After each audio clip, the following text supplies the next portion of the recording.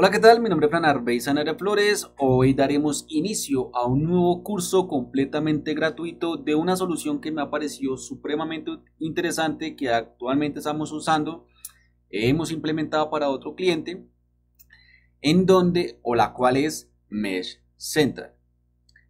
Este, esta solución es una solución respaldada directamente por Intel. Es increíble, yo tampoco lo creía realmente uno de los desarrolladores e ingenieros de Intel, el cual tiene como base o principal interés en administrar los sistemas y servidores o computadoras de forma remota utilizando una tecnología llamada Intel AMT.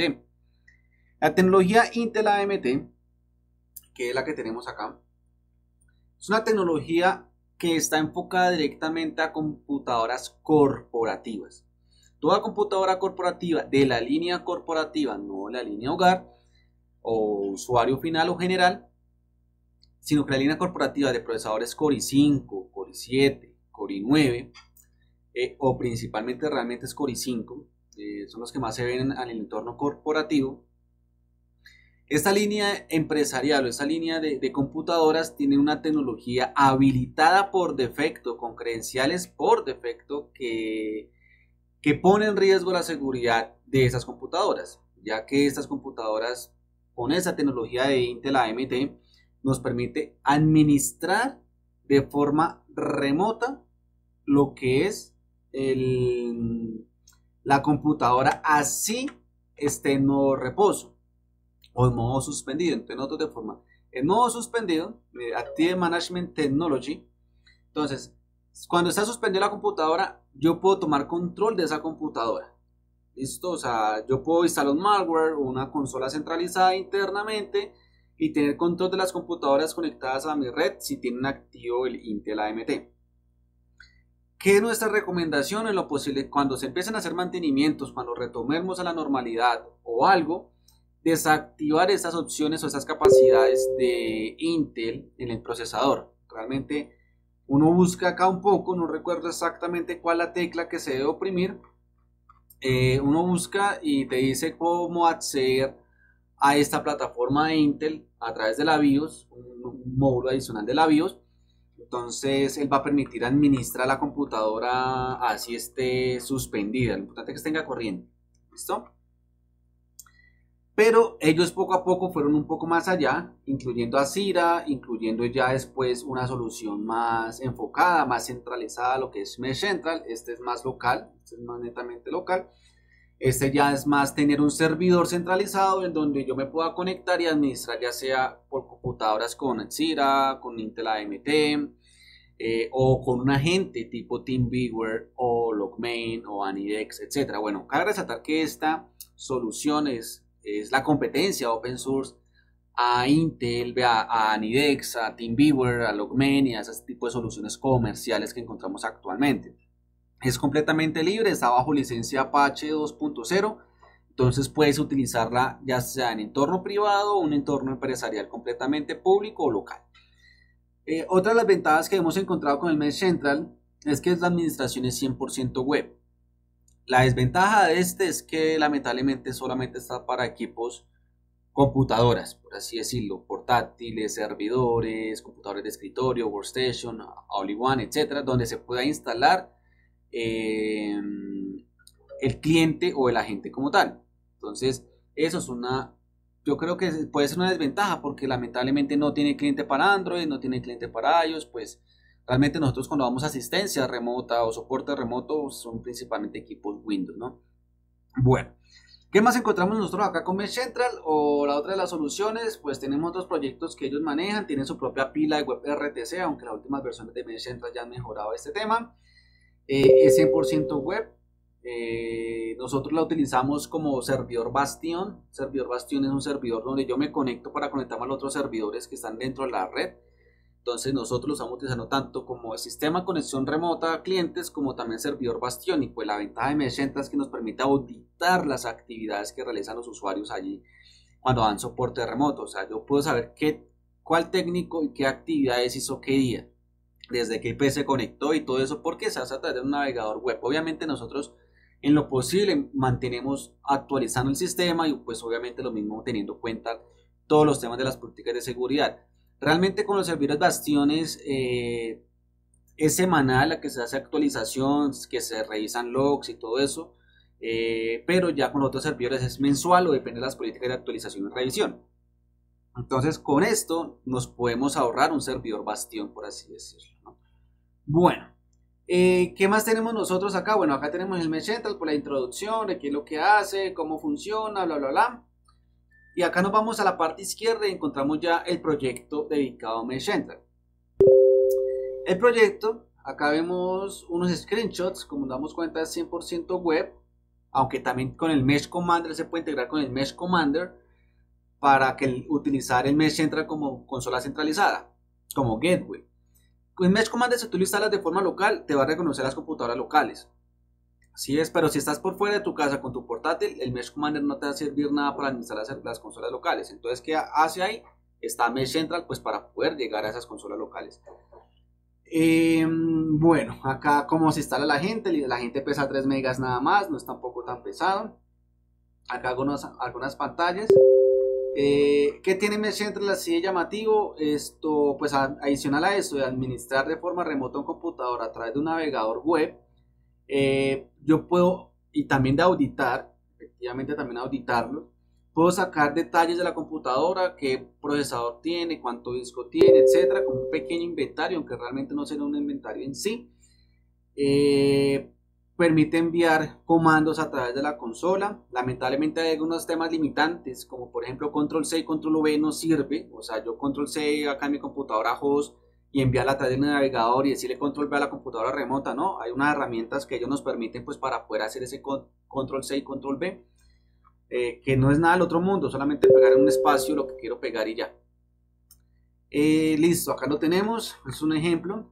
Eh, encontramos también acá muchos tutoriales directamente del desarrollador, uno de los desarrolladores de cabecera. La instalación es súper sencilla, no es nada del otro mundo. Ya vamos a ver a qué se refiere o a qué me refiero con que, no es nada del otro mundo. Pero bueno, ¿qué me interesa a mí? Primero, me interesa que también conozcas el blog. El blog realmente se mantiene actualizando normalmente una publicación por mes. Eh, también encontramos acá el GitHub de ellos que te recomiendo que si encontraste un fallo, un problema o algo, eh, lo menciones o lo subas. Digas, mira, tengo este problema. Tengo por seguro que ellos lo tienen muy en cuenta y te lo pueden estar solucionando en la siguiente revisión. O sea, es una comunidad muy activa. realmente es una comunidad muy activa por parte de Intel. Eh, y acá tenemos, pues, eh, por ejemplo, mira, eso fue hace 11 horas, 9 horas, 9 horas. esta fue hace dos días, ya tuvo una respuesta. Esto mira que acá efectivamente me están diciendo, ok, es un bug, hace cuatro días. El desarrollador principal hizo el comentario, o sea, es directo, entonces acá está diciendo cuando hago clic en tal parte, pasa esto y ellos van a decirte cómo se soluciona y qué debes de hacer o que si se actualiza en la siguiente versión o se corrigió en la siguiente versión. ¿Vale? Entonces, es una comunidad muy activa y que te invito realmente a utilizar esta solución en tu compañía eh, a alimentar esta base de conocimiento, ¿no? Bueno, también tenemos el blog, lamentablemente los manuales que tenemos acá, lamentablemente no están actualizados al 100%, entonces a veces uno se basa mucho en lo que es acá el blog como tal, para nosotros ver cuáles son las nuevas características que vienen en esa nueva versión. Entonces acá uno mantiene mirando qué es lo que hacen, etcétera. Por ejemplo, el, 9, el 8 de junio agregaron nuevo BNC directamente y ya. Bueno, cabe resaltar que acaba de hacer una pequeña introducción a BNC, bueno, una pequeña introducción no, sino una comparación. ¿Por qué no utilizar BNC con el gateway o con el relay server que, ellos recomiendan utilizar? Lamentablemente, cuando probamos BNC antes de hacer la, integración con, con Mesh Central, eran muchas los problemas que se presentaban realmente en la configuración del cliente. Entonces, no era un paquete estándar para cada uno de los sistemas operativos, la configuración no era la misma, el cliente no, no funcionaba adecuadamente en todos, los, en todos los sistemas operativos. Entonces, era más el trabajo del soporte de tecnología, intentando cuadrar un agente remoto que realmente dándole soporte al cliente o al usuario final. Entonces, aquí realmente Mesh Central hace fácil todo eso. Y adicional a eso le permite a uno administrar servidores genuinos por consola, o sea, no, tienen, no tenemos necesidad de tener interfaz gráfica. Entonces también es una gran ventaja y por qué no utilizamos BNC para esta alternativa. Eh, mira, tiene ya integración con el directorio activo de Azure, con bueno, la, la tema de una aplicación móvil, eh, bueno, recording de Linux, device setting, bueno, etcétera. Acá lo importante es tenerlo en cuenta este blog, ¿no? Mira, meshcentral2.blogspot.com. Eh, es más, si nosotros vamos y encontramos por acá en Intel, para que diga sí, efectivamente son de Intel, es más, pero si yo ingreso acá al proyecto de, de él, no me sé el nombre totalmente tampoco, porque es difícil.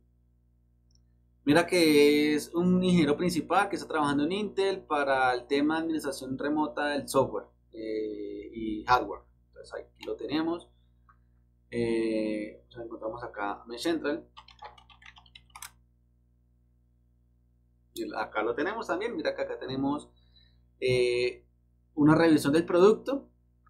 Este es el viejo, esta es la versión 1, ya estamos en la versión 2, aunque en la, en la actualización les diga otra cosa. Mm, ¿Qué vamos a utilizar? Bueno, sigamos acá.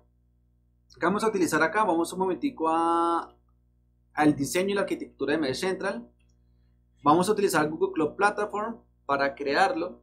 Eh, pues en el siguiente video, ya cuando empecemos a instalar Mesh Central, pues les voy a dar las recomendaciones, observaciones correspondientes a la cantidad de RAM, disco duro, etc.